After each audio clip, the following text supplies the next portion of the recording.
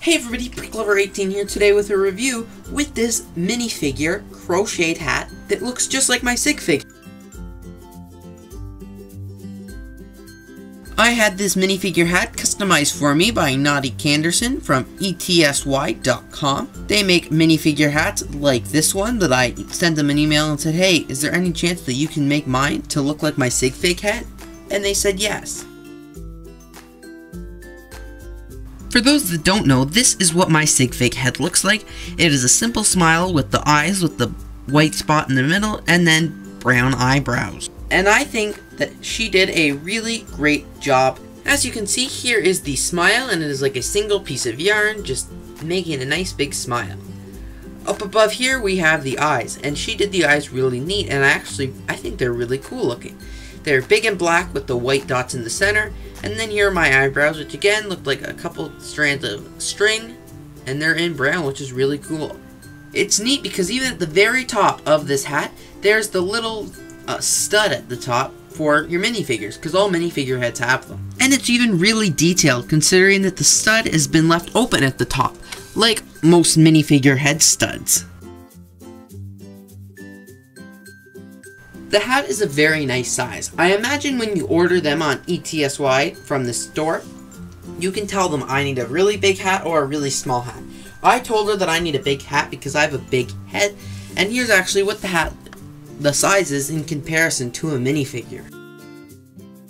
This hat fits perfectly on my head, and it makes me look like a real LEGO minifigure head. With, of course, two faces. This face and my normal face.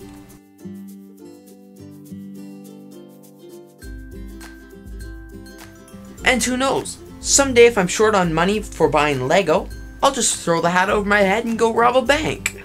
Another nice thing about this hat is it's stretchy, so it's not just a wear it one year and it's a waste the second year. You can continue to wear this hat for multiple different years. I can't guarantee that the person creating these hats can create custom hats for everybody, but if your face is simple enough, you can always send her an email and say, hey, is this possible? And she'll let you know yes or no. I am very impressed with this hat, and I'm really happy that I got one done for me. And for the low price of $15 Canadian, it's a steal. For those wondering, $15 is about $11.50 for all American viewers. You can get these hats in a variety of sizes, ranging from extra small to extra large. Thanks everybody so much for watching this review of this really awesome, customized LEGO minifigure hat.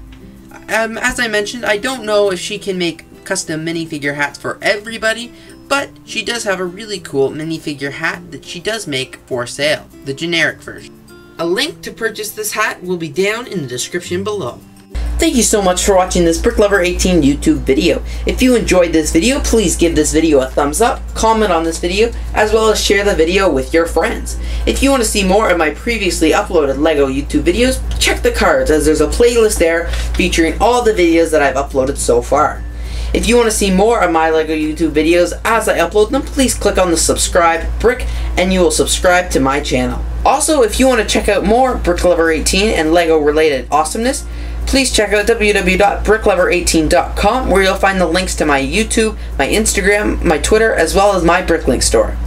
Thanks for watching this BrickLover18 video. Stay tuned for all things LEGO by clicking that subscribe brick.